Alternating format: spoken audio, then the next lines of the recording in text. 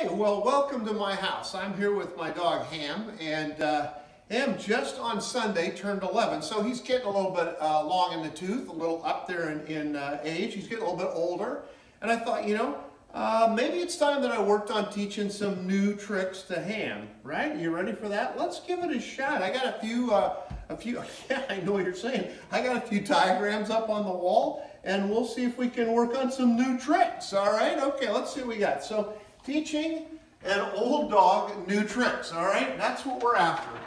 And you ready for that? All right, here we go. Hey, how about this one? How about if we try a high five? You know, we've worked on this for a while now. You know you got it. Give me some up top.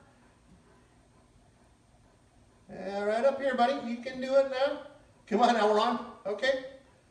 All right. Well, all right. Well, maybe maybe a tad advanced. All right, maybe that's, maybe we need to work on that one a little bit more. Let's try another one. Let's see what another one, see we've got another one. Oh, okay, I know this one, we know this one. Let's do, uh, let's do fetch, okay, ready?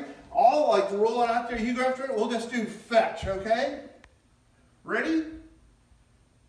Well, you know, that's a lot of exercise right now. He might not have been quite as warmed up as I thought. So all right, let's try. Let's try another one. Uh, let's give it this one. All right, let's give. Oh, this is a good one because we're always looking for new members in the choir, right? So, all right, I know you can howl with the best of them. So, him just like belt it out. Do re mi. I'll warm you up. Should we warm up just a do re mi? Okay, we got it. Okay, just give it all you got.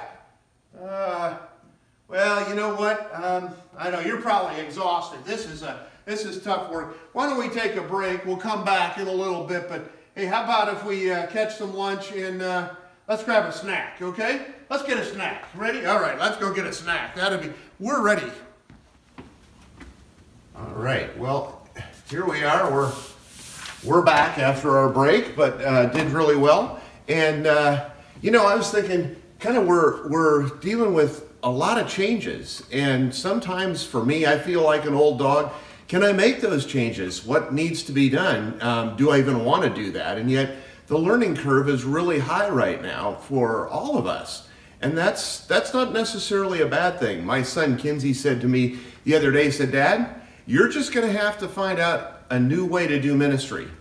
And wow, that's so true. That's so true. It is true. You know, I read this um, from Isaiah 43, verse 19, just the other morning. It said this Isaiah speaking for God, he said, See, I am doing a new thing.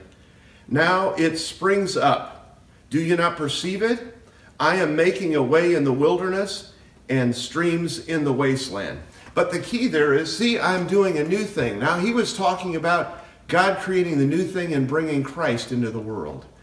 And even though our learning curve is high for you and for me and for our staff and for all of PGCC, we're working our best not to just kind of stay static, but to do things in a new and a fresh way so that we can really strengthen our community and be more effective to bring Christ, the new thing, into our world. Hey, so let's be praying that way, shall we? Let's be praying that God does in us a new thing and in our world a new thing, even in the midst of this incredibly challenging time. God bless you. Hey, one more thing. Let's us old dogs try to learn some new tricks, shall we?